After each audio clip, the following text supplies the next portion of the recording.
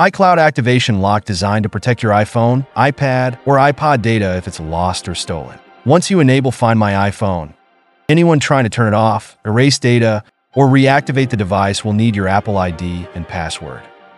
But what if you purchased a used iPhone or iPad with the Find My iPhone feature enabled? When you try to clear or reset it without a passcode, you'll likely get stuck on the activation lock screen and you won't be able to use your device. In this video, we'll show you three proven iCloud lock removal methods. Let's get started.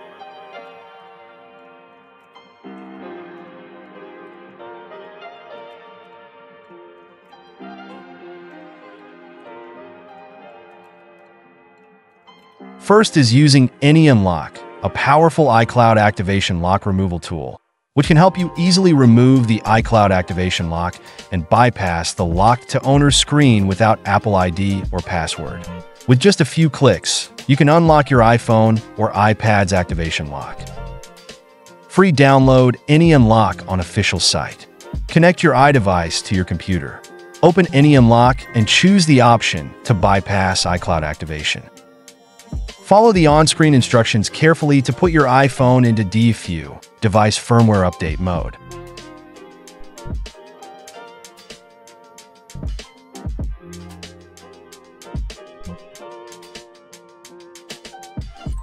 Once your iPhone is in DFU mode, any unlock will start the jailbreak process.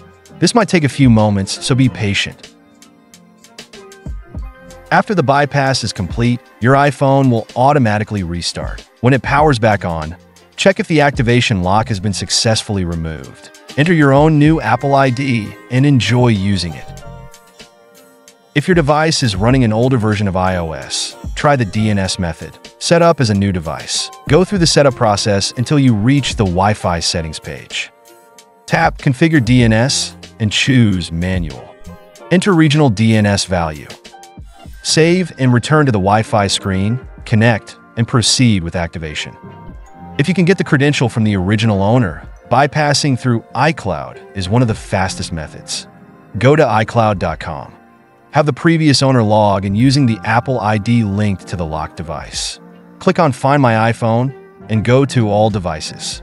Choose the locked iPhone or iPad.